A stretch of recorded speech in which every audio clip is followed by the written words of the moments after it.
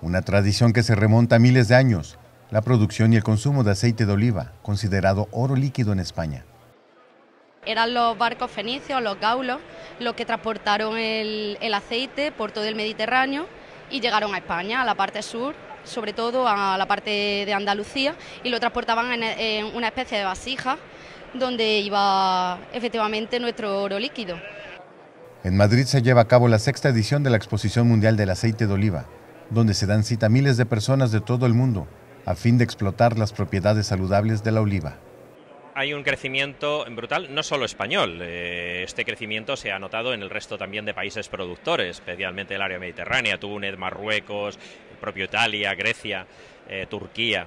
Eh, hay un crecimiento importante del sector y yo creo que internacionalmente el aceite de oliva en países no productores, sino países que empiezan a conocerlo, empieza a ser más valorado y más apreciado.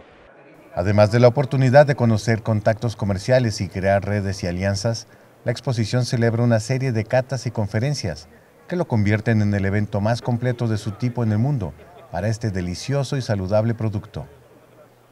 Con información de la oficina en Madrid, España, Noticias Xinhua.